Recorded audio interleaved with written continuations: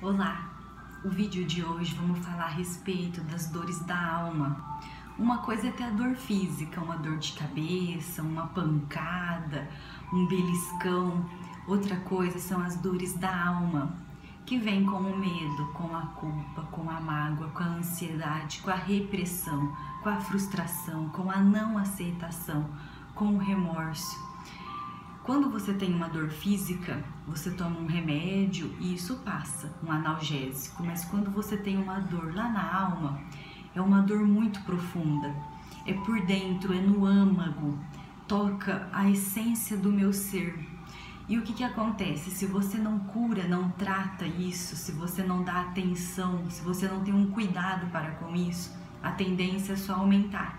E nós vemos hoje em dia nos conceitos da psicologia das terapias alternativas, da metafísica, onde a depressão, a ansiedade, o pânico, vem tudo com essa relação dessa dor na alma, dessa dor profunda que muitas vezes o paciente ele não consegue nem explicar como ele sente ou o motivo dele estar tá se sentindo daquela forma ou de tal patologia, às vezes é uma dor profunda que ele não sabe nem explicar onde é.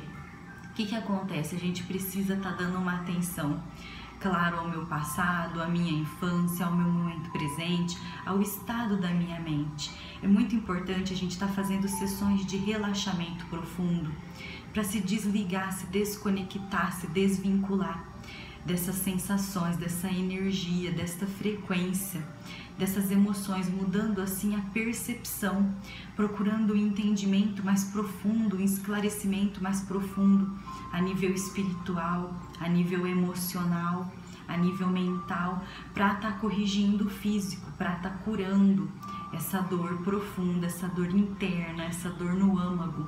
É muito importante também fazer meditações para limpar, mas o mais importante é eu estar tá mudando minha visão. Às vezes eu preciso mudar as minhas crenças.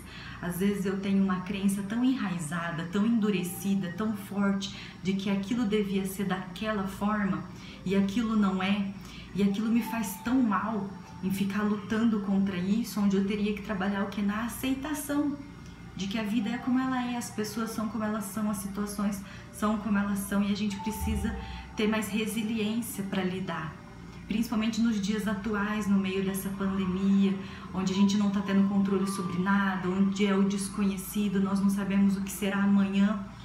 Eu vejo muita gente aparecendo com dores na alma, por conta de toda essa situação que a gente está vivendo, isso está exacerbando cada vez mais e a gente precisa trabalhar muito em relação à minha mentalidade, para trabalhar as minhas emoções, lidar melhor com tudo isso, ser mais resiliente, ter mais fé, trabalhar na minha espiritualidade, trabalhar na aceitação, trabalhar na limpeza, mas uma limpeza profunda.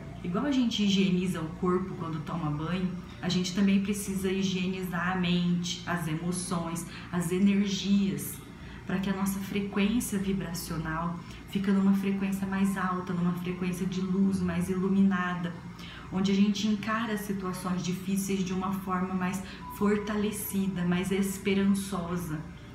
Então, esse é o tema do vídeo de hoje. Se inscreva lá no meu canal do YouTube, Doutora Michele Cunha. Clica no sininho para ficar por dentro dos vídeos novos. Um grande abraço e até o próximo.